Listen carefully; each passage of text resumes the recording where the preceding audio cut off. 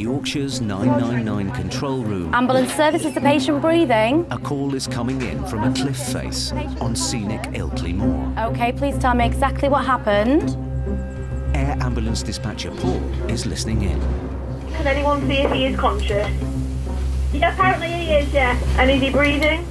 Is he breathing? It sounds serious. What's he done? Fallen off, fallen 30 foot. From 30 feet or more, it's an immediate dispatch. The team don't need to know anymore. The climber's life is in real danger. What's the job, Sam? Falling between 10 and 30 metres off rocks. Oh, Cow and Calf? Yeah. Yes. So, Pete, you know this area, so is there, is there any, am I right thinking there's only kind of one place to land? There's, you can land on the top, Yeah. uh, but when they've fallen off, it's you normally land. There's a path going halfway up in there, a little bit of a plateau there to land on. Flying Dr. Chris is concerned. So with any high fall, um, it can be, there's a high mechanism of injury. So people often, often have head injuries, spinal. One of our main concerns would be the possibility of severe bleeding from an injury to their, to their chest or abdomen or pelvis. Pilot Jeff must find a place to land among the tourists and climbers at one of Yorkshire's busiest landmarks. Is that where you was, what you like to land before, is it? That's where I've been before, yeah. I don't know if it's still suitable with that bench being there. Uh, yeah, so I'll have a look. Just got one rock sticking up to the left, but you are clear of that. Nobody looks overly concerned up there, to be fair.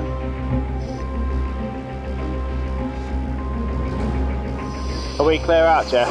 Yes, mate, yeah. The climber is lying where he fell. A ground paramedic started treatment. Right, Luke has fallen from up here.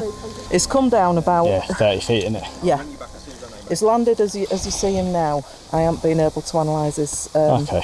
his head injury as yet because I've not moved him, and he has got some uh, tenderness around T5, T6 area. He's able to take a deep breath in. I've auscultated his moving air bilaterally.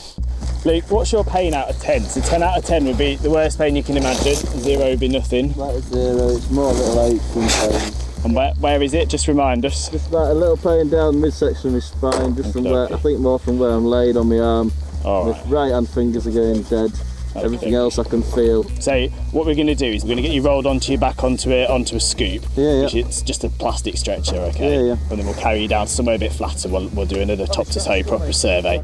Luke Dowling is an experienced climber.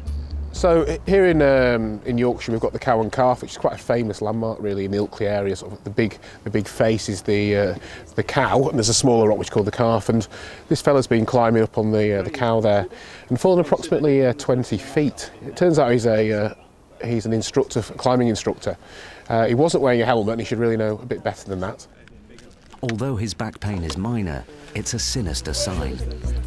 Just one of you guys want to grab the head. So just as we move in, just keep it gaze.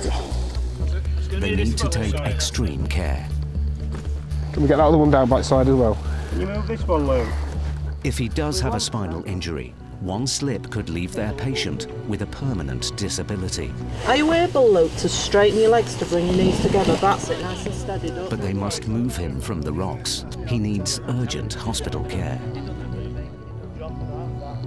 On the Cow and Calf rocks, the team are about to begin the critical task of moving a badly injured climber.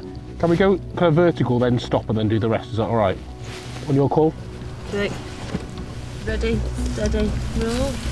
Luke's back is being kept straight throughout his rescue. Yeah, everybody ready to work Yeah. on Yeah. the next step? Ready, steady, roll. That's it.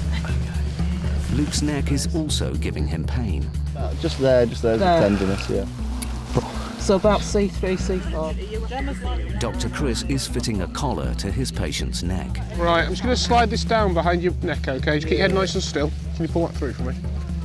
Luke's been lying on rocks below the crag. They need to take him to level ground to examine him properly.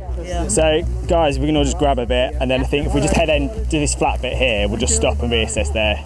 The ambulance service team are recruiting fellow climbers to help carry their patient. So anybody who's willing to lift, just come and stand behind me and we'll make a line just to pass him down. Ready, steady, lift. Nice and steady. It's a delicate task. you guys take where we are and then just pass it to the next person. Right.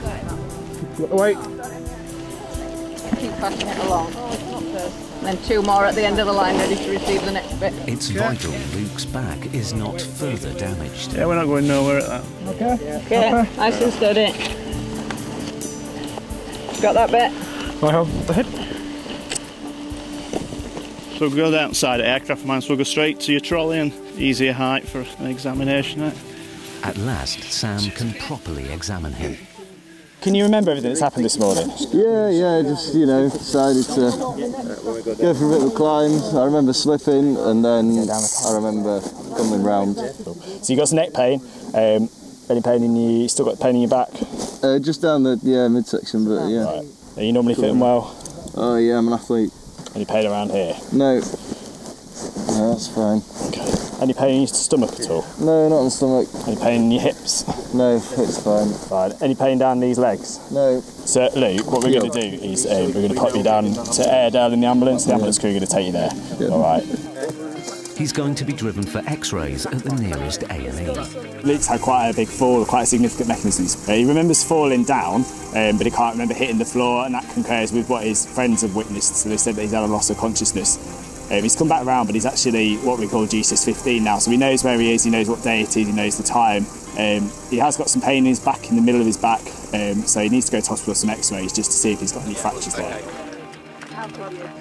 We'd advise if people who are doing activities like this to wear a helmet, but it is a personal choice. Um, Luke's been incredibly lucky at the moment. Um, he's not showing any signs of a severe head injury.